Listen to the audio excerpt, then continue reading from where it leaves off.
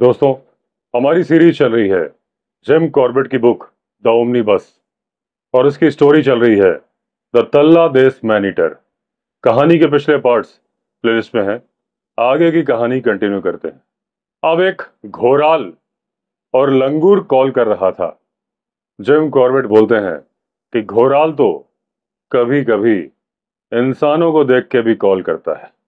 लेकिन लंगूर इंसानों को देख के अलार्म कॉल नहीं करता। वो तो तभी करता है जब टाइगर या लेपर्ड हो। अब कॉर्बेट बोलते हैं, इस बात की संभावना थी कि टाइगर अपने शिकार के आसपास ही रहा हो। लेकिन जब इतने सारे लोगों की पार्टी आई तो फिर वो ऐसी जगह पर चला गया हो जहाँ से वो दिखाई ना दे। अब पहले घोराल की कॉल उसके बाद लंगूर की कॉल मैं घटना का मनी मन में चित्रण कर रहा था और सोच रहा था, किस स्टेप के बाद क्या हुआ होगा। पटवारी खाना खा रहा था जब मैं उसके पास पहुँचा। अब पटवारी ने भी मुझे ज्वाइन कर लिया था। अब मैंने पटवारी से पूछा कि मैंने बेन से कहा था कि मुझे दो भैंसे चाहिए, उनका क्या हुआ? पटवारी ने कहा कि उन भैंसों के साथ वो चंपावत से चला था और उन्हें तल्ला कोट के पास दस मील की दूरी पर एक गाँव में छोड़ दिया, क्योंकि वहाँ पर मैन ईटर ने चार अप्रैल को एक बच्चे को मार दिया। अब क्योंकि वहाँ पर मैन ईटर से निपटने के लिए कोई शिकारी था नहीं तो बच्चे की बॉडी को उठा लिया गया। उसके बाद उसने टेलीग्राम कर दिया था टनकपुर और ऊपर से आदेश आया कि बच्चे की बॉडी का अंतिम संस्कार कर दिया जाए। अब जहाँ पर हमने रात गुजारी थी, छोटे से गाँव में, वहाँ से मेरे आदमी अभी तक आए नहीं थे। तो मैंने मुखिया से कहा कि मेरा टेंट, वो जो स्ट्रीम बह रही है, खुले मैदान में, वहाँ पर लगा दिया जाए। मैंने डिसाइड किया कि मैं नीचे जाऊँगा उस जगह पर, जहाँ टाइगर ने शिकार किया था। टाइगर के सबूत ढूंढता हूँ। मेरे मन में ये सवाल चल रहा था कि ये ढूंढा जाए कि ये मैनीटर मेल है कि फीमेल है। और अगर फीमेल है तो क्या इसके साथ बच्चे भी हैं? अब जिम कॉर्बेट बोलते हैं कि जैसा कि मैं पहले ही बता चुका हूँ कि कुमाऊं का यह हिस्सा मेरे लिए अनजाना था, यहाँ के भूगोल की मुझे जानकारी नहीं थी तो मैंने गाँव के मुखिया से कहा कि मैं नीचे जाना चाहता हूँ सबसे आसान और शॉर्टकट क्या है नीचे जाने के लिए? तो वो लड़का जिसकी माँ को टाइगर ने मार दिया था, वो सामने निकल के आया। बोला, मैं आपके साथ चलता हूँ। मैं आपको लेकर चलूँगा उस जगह पर जहाँ टाइगर ने मारा है मेरी माँ को। अब जिम कॉर्बेट बोलते हैं कि यहाँ के लोगों का विश्वास अजनबियों पर इतना भरोसा करने का, उस इलाके में जहाँ मैन ईटर घूम रहा है। कदम कदम पर जान का खतरा है, तब भी कोई मेरे ऊपर इतना भरोसा कैसे कर सकता है, जो कि मुझे जानता भी नहीं। अब जो बच्चा था, उसका नाम था डूंगर सिंह। वो भी साहस और आत्मविश्वास का प्रतीक बन गया था, क्योंकि उसे भरोसा था कि वो मेरे साथ जाएगा तो साहब उसे कुछ होने नहीं देंगे। वो डूंगर सिंह, जो सालों से आदमखोर के साय में, दहशत के साय में जिया था। कुछ घंटों पहले ही उसने अपनी माँ के अवशेष देखे थे, जिसे मारा था आदमखोर ने। और उसके बाद भी उसके अंदर इतना साहस था कि वो आदमखोर के इलाके में मुझे लेके जाने के लिए तैयार था, जहाँ आदमखोर कभी भी मिल सकता था। वो डूंगर सिंह निहत्था था, लेकिन उसे विश्वास था कि उसके साथ जो साहब जा रहे हैं वो उसकी रक्षा करेंगे। क्योंकि घोराल की कॉल हुई थी, लंगूर की कॉल हुई थी, सबको मालूम था कि मैन ईटर आसपास ही है। और ये बात गौर करने वाली है कि साहब, यानी कि मैं, उसके लिए बिल्कुल अजनबी था। पहली मुलाकात हुई थी हमारी। हालाँकि डूंगर सिंह थोड़ी देर पहले उस इलाके में जा चुका था, लेकिन तब वो गया था तीस लोगों के साथ और तीस लोगों के सामने टाइगर आता नहीं है। यानी कि सुरक्षा की पूरी गारंटी थी। अब जहाँ पर हम खड़े थे, वहाँ से नीचे उतरने का कोई रास्ता नहीं था। तो डूंगर सिंह मुझे वापस गाँव की तरफ़ ले गया और वहाँ से बकरियों के उतरने के रास्ते से हम नीचे चल पड़े। अब जब हम नीचे जा रहे थे झाड़ियों के बीच से तो मैंने डूंगर सिंह को बताया कि मेरे बाएँ कान में कुछ प्रॉब्लम है, मुझे सुनाई नहीं देता। अगर मुझसे कुछ कहना चाहते हो तो मेरे नज़दीक आके मेरे दाएँ कान में फुसफुसा के कहना, अभी हम थोड़ा ही आगे चले थे कि डूंगर सिंह ने पीछे मुड़ के देखा और फिर मेरी तरफ़ देखा। मैंने भी पीछे मुड़ के देखा तो उसी रास्ते से पटवारी एक आदमी को लेकर आ रहा था, जिसके कंधे पे टंगी थी एक शॉटगन। मुझे लगा पटवारी कुछ ज़रूरी खबर लेके आ रहा है। मैं वहाँ पर रुक गया, लेकिन जब पटवारी आया तो मुझे जान के निराशा हाथ लगी कि पटवारी मुझे ज्वाइन करना चाहता था अपने बंदूकधारी के साथ। अब उन्हें साथ तो लेके नहीं जाना चाहता था, लेकिन अनमने मन से मैंने हाँ कर दिया। अब उस घने जंगल में हम करीब 400 गज और बढ़े। तब हम थोड़े से खुले इलाके में आ गए, जो कुछ गज खुला हुआ था। अब यहाँ से दो रास्ते जा रहे थे एक रास्ता जा रहा था, एक रवीन की तरफ़। और जो दाहिने हाथ की तरफ़ रास्ता जा रहा था, पहाड़ी के छोर की तरफ़ जा रहा था। अब वो बच्चा, डूंगर सिंह, उसने इशारे से बताया, ये रास्ता जो कि जा रहा है रवीन की तरफ़, वहाँ पर मेरी माँ को टाइगर ने खाया था। अब जिम कॉर्बेट नहीं चाहते थे कि जिस इलाके में वो पग मार्ग ढूंढना चाहते हैं, वहाँ पर पटवारी और उनका बंदूकधारी अपने जूतों के निशान से पग मार्क मिटा दे। तो मैंने डूंगर सिंह से कहा कि इन दोनों आदमियों के साथ यहीं पर रुको और मैं अकेला आगे बढ़ चला टाइगर के पग मार्क देखने के लिए। अब जैसे ही जिम कॉर्बेट ने बात करनी बंद की, डूंगर सिंह ने पीछे मुड़ के देखा पहाड़ी की तरफ़। मैंने देखा पहाड़ी के ऊपर बहुत सारी भीड़ खड़ी है, जहाँ थोड़ी देर पहले मैं खुद खड़ा था। अब डूंगर सिंह ने अपना एक हाथ इशारे से हाथ उठाया, यानी ये इशारा हम लोग के लिए था कि शांति बनाए रखो। और दूसरा हाथ अपने कान पर लगाया, यानी कि वो सुनने की कोशिश कर रहा था कि वो लोग क्या बोल रहे हैं। और जब सुन लिया, उसने अपना सर सहमति में हिलाया फिर डूंगर सिंह ने मुझे बताया कि उसका भाई बोल रहा है कि जहाँ पे हम लोग खड़े हैं, उसके नीचे ही एक ग्राउंड है और वहाँ पर लाल लाल कुछ नज़र आ रहा है। अब जो बंजर खेत था, यानी कि जिसमें खेती नहीं की जा रही थी, उसके नीचे वाले खेत में ही टाइगर लेटा था, यानी कि कुछ लाल लाल नज़र आ रहा था। अब जेम कॉर्बेट ने सोचा कि वो लाल लाल किसी पेड़ का तना भी हो सकता है, कांकड़ भी हो सकता है, या फिर यंग सांबर भी हो सकता है, जो कि लाल रंग के ही नज़र आते हैं। ये सब हो सकता है, लेकिन वो टाइगर भी हो सकता है।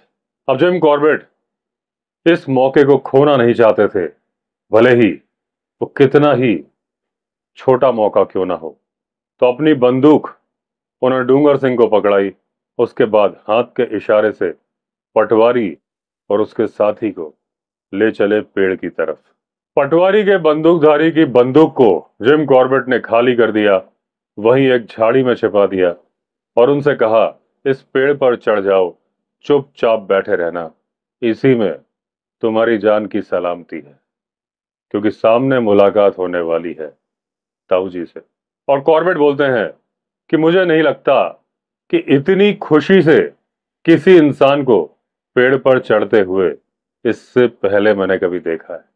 वो खुशी खुशी ऊपर ही ऊपर चढ़ते जा रहे थे, जब तक कि उन्हें यकीन नहीं हो गया था कि वो टाइगर की पहुँच से दूर है। साफ़ नज़र आ रहा था कि जिस उत्साह से वो आदमखोर को मारने के लिए गाँव से निकले थे, वो उत्साह हताशा में बदल गया था और अब वो डर रहे थे, किसी तरह से बचना चाहते थे आदमखोर बाग से। अब जो बकरियों के जाने का रास्ता दाहिनी तरफ़ जाता था, वो ऐसे खेत की तरफ़ जाता था जो कि बंजर था, उसमें जई की घास उगी हुई थी। अब ये खेत, जो कि करीब सौ गज लंबा था, करीब दस फीट चौड़ा था, उस तरफ़, जिस तरफ़ मैं खड़ा था। और मेरे सामने वाली तरफ़ करीब तीस फीट चौड़ा था। और वहाँ जाके ये खेत एक रिज पर खत्म हो जाता। करीब पचास गज की दूरी तक वो खेत एकदम सीधा था। उसके बाद थोड़ा कर्व ले लेता था बाई दिशा की तरफ़। अब जब डूंगर सिंह ने मुझे देखते हुए देखा तो उसने बताया कि हम दूसरे तरफ़ जाएँगे अगर उस खेत पर तो वहाँ से हम उस खेत की तरफ़ देख पाएँगे जहाँ कुछ लाल लाल बैठा हुआ है, जो कि उसके भाई ने बताया। तो खेत के अंदर की तरफ़ जितना ज़्यादा हम जा सकते थे, जाकर एकदम झुककर हम बढ़ चले खेत के उस दूसरे किनारे की तरफ़। यहाँ हम घुटने पे चलने लगे, अपने हाथ ज़मीन पर रख के धीरे धीरे हम सरकने लगे और पहुँच गए उस जगह जहाँ से हमें नीचे दिखना था। हमारे नीचे थी एक छोटी सी वैली, वहाँ पर एक खड़ी ढलान थी जिसमें लंबी लंबी घास लगी थी। उसके साइड में बांझ के छोटे छोटे पेड़ लगे हुए थे और उन बांझ के छोटे छोटे पेड़ों के आगे एक रवीन था जिसमें डूंगर सिंह की माँ को टाइगर ने खाया था। अब वो जो घास की ढलान थी, करीब तीस गज चौड़ी थी और उसके नीचे वहाँ पर एक चट्टान की क्लिफ थी। अब उसकी नीचाई से अगर हाइट नापी जाए, अस्सी से सौ फुट तो पक्का होगी। अब जहाँ पर वो ढलान थी, उसके नज़दीक में ही सीढ़ीदार खेत थे। करीब सौ गज लंबे होंगे और दस गज चौड़े होंगे। अब वो खेत एकदम सीधा था और जिस साइड हम खड़े थे, उस साइड उसमें घास थी, जो कि ज़्यादा बड़ी नहीं थी। दूसरे किनारे पर गुलदाउदी की तरह से पेड़ थे, जिनकी की ऊंचाई चार से पाँच फीट थी। उनके नीचे का हिस्सा सफ़ेद रंग का था। तो जो घास का पैच था, दस फीट की दूरी पर, वहाँ से, वहाँ पर दो टाइगर सो रहे थे। जो हमारे नज़दीक वाला टाइगर था, उसकी पीठ हमारी तरफ़ थी। सिर था उसका पहाड़ की तरफ़। दूसरा जो टाइगर था, उसका पेट हमारी तरफ़ था और उसकी पूंछ थी पहाड़ की तरफ़। दोनों के दोनों गहरी नींद में सो रहे थे। अब जो नज़दीक वाला टाइगर था, उस पर गोली चलाना ज़्यादा आसान था। लेकिन मुझे शक था कि जैसे ही बंदूक का धमाका होगा। पहले टाइगर को मैं गोली मारूँगा, दूसरा टाइगर पहाड़ी की दूसरी तरफ़ चला जाएगा। अब जिम कॉर्बेट को लगा अगर वो बाद वाले टाइगर को पहले गोली मारते हैं तो इस बात की संभावना है कि दूसरा टाइगर शायद तो पहाड़ी की तरफ़ चला जाए, शायद हमारी तरफ़ आ जाए। तो मैंने डिसाइड किया कि मैं बाद वाले को पहले गोली मारूँगा, मुझसे उसकी दूरी थी करीब 120 गज। एंगल ठीक था, कुछ ऐसा नहीं था कि पहाड़ी की वजह से बंदूक की गोली थोड़ी ऊपर उठ जाए। ढलान पे गोली मारते वक्त इस बात का मैं ख्याल रखता हूँ। अब मैंने अपना एक हाथ ज़मीन पर रखा, कुशन बनाने के लिए, उसके ऊपर रखी राइफल। अब मैंने सावधानी पूर्वक निशाना लिया, जहाँ मुझे अंदाजे से लग रहा था कि उस टाइगर का दिल होगा, यानी कि हार्ट। और बहुत ही सावधानी के साथ धीरे से मैंने बंदूक का ट्रिगर दबा दिया। वो टाइगर जरा सा भी नहीं हिला, लेकिन उसके धमाके की वजह से दूसरा टाइगर उछला और एक छलांग में पाँच फीट दूर वाले किनारे पे पहुँच गया, जहाँ पर एक रेन वाटर चैनल थी। यहाँ पर टाइगर रुका। एक बार उसने मुड़ के अपने साथी, जैसे कि अभी गोली लगी थी, उसकी तरफ़ देखा। मैंने गोली चलाई, थोड़ा पीछे हटा और पीछे की तरफ़ गिरिया रेन वाटर चैनल में। नज़रों से ओझल हो गया। अब जब मैंने दूसरा शॉट मारा, उसके बाद मुझे कुछ हलचल सी लगी उन झाड़ियों के पास में जो कि दिखती थी गुलदाउदी की तरह से। क्योंकि वो झाड़ियाँ ऊँची थी, उनके नीचे कोई बड़ा जानवर चल रहा था, कौन चल रहा था, नज़र नहीं आ रहा था। लेकिन उसके चलने से हलचल हो रही थी। अब कोई जानवर दो टाइगर के इतने नज़दीक से चल रहा हो तो वो कोई दूसरा जानवर तो हो नहीं सकता। पक्का, वो टाइगर ही है। मैं टाइगर को तो नहीं देख पा रहा था, लेकिन मैं उसकी मूवमेंट पे नज़र रख पा रहा था, क्योंकि झाड़ियों में हलचल हो रही थी। मैं इंतज़ार करता रहा कि वो जानवर झाड़ियों से निकल के बाहर आए। अब उसके बाद जो वो घास वाली ढलान थी, वहाँ पर अचानक से निकल के आया एक टाइगर अब टाइगर धीरे धीरे राइट हैंड साइड की तरफ़ जाने लगा, लेकिन वो मेरे निशाने पर था। अब गोली लगने के बाद जानवरों को मैंने तरह तरह से गिरते देखा है, लेकिन जिस तरह से ये टाइगर गिरा, ऐसे मैंने पहले कभी नहीं देखा था। पहले तो गिर गया, हिलना बंद हो गया फिर धीरे धीरे ये सरकना शुरू हो गया। और जब सरकना शुरू हुआ तो धीरे धीरे उसकी स्पीड बढ़ती गई। और जो बड़ी सी चट्टान की क्लिफ थी, उसके पहले बांझ के पेड़ की टहनियाँ थी, उनमें जाके ये टाइगर अटक गया।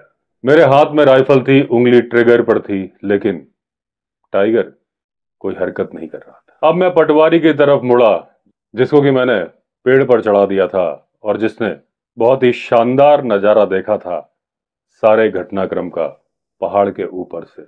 डूंगर सिंह, जो कि चुपचाप ये घटनाक्रम देख रहा था, अब खुशी से नाच रहा था। नाच रहे थे वो लोग भी, जो कि पहाड़ के ऊपर खड़े थे।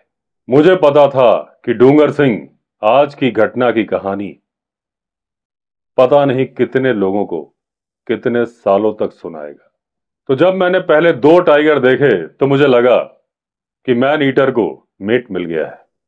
लेकिन जब तीसरा टाइगर भी निकल के आया तो मुझे समझ में आ गया था कि एक टाइग्रेस थी और उसके साथ थे दो बड़े कब्स तो दोस्तों, आज के एपिसोड में इतना ही। बाकी की कहानी कंटिन्यू करेंगे अगले पार्ट में।